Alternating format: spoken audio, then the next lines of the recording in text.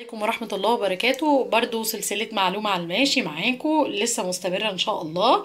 آه، أنا طبعا زي ما قلت لكم الفريزر آه، على قدي فدايما بخزن من كل حاجة كيس.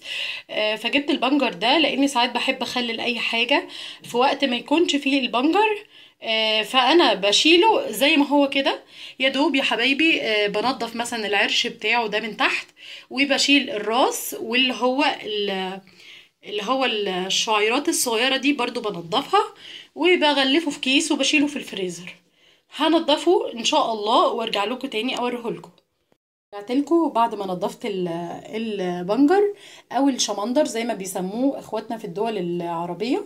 بقطع الحتة اللي تحت والحتة اللي فوق تمام؟ وبمسحه آه، من بره. مش بغسله ولا ببله مية تمام؟ وبشيله في الكيسة كده. أنا استعمالي آه، ده بالنسبة للمخللات. لو عايزاه في حاجة آه، أديها لون.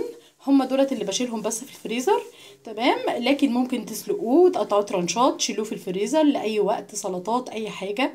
وممكن آه، له كذا طريقة. وله كمان كعصير إن شاء الله هعمله معاكم لأي حد عنده أنيميا ده مفيد جدا جدا جدا وفعلا آه، بيرفع الأنيميا. يعني مهما تاخدي دواء آه، هو ده أحسن حاجة للأنيميا. وأقول لكم بقى السلام عليكم ورحمة الله وبركاته. آه، هحطه في كيس واوريه لكم برده قبل ما أقفل و آه، وبعد كده أسلم عليكم. تاني قلت اوريه لكم وهو في الكيس آه، تمام؟ حطيته. فكرته زي الطماطم اللي هي الوحدات اللي بنشيلها في كيسة.